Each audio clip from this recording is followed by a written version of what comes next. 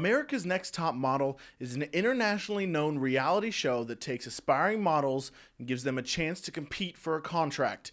It's been on the air for over a decade and was started by Tyra Banks. But this year, we're seeing something or someone different.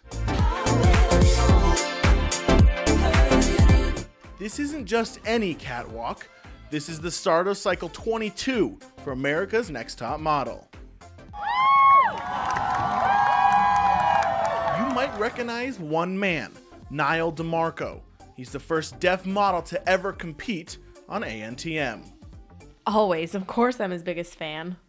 Nyle is not allowed to contact anyone outside of the competition until more decisions are made, so we sat down with his biggest fan and longest friend. Of course, I'm thrilled for his career. I really want it to take off. Phyllis mentioned that he stood out for three reasons. Everyone's always fascinated with his eyes. Nyle does have good eyes.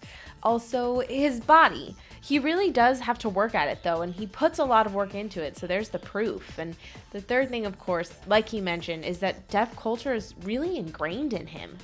In Nyle's audition tape, he said ASL would be a major benefit in the competition. As you can see, my language requires facial expression and body language. So the modeling photos will guarantee to tell a story. We also sat down with his twin brother Nico to get a closer look at what's been happening. Of course, I think this is so cool. It's amazing that he can show what deaf people can do and that really we don't have a glass ceiling whatsoever. Nico says that this hasn't been Nyle's lifelong passion, but that once he realized he could do it, it's taken him far. People kept bugging him about keeping up with modeling and doing it more, but he didn't care too much about it and always shrugged it off. After trying it a bit, it got to the point where he realized he was actually good at it.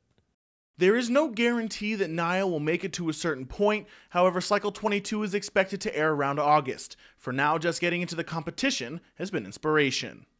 Deaf people tend to have the opportunity because there's a deaf role, and it's not usually just because they're people who who they're looking for in general.